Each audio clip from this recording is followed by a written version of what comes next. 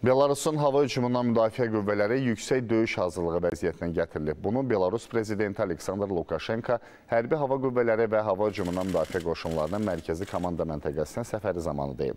Lukashenkonun sözlərinə görə bir nömrəli hava hücumundan müdafiə qüvvələri mayın 13-də Bryansk yaxınlığında vurulan Rusiya təyyarələri ilə bağlı insidentlərdən sonra döyüş hazırlığı vəziyyətinə gətirilib. Belarus lideri qeyd edib ki, hazırda vəziyyət kritik olmasa da həyəcan verici amillər var. интересует обстановка вокруг,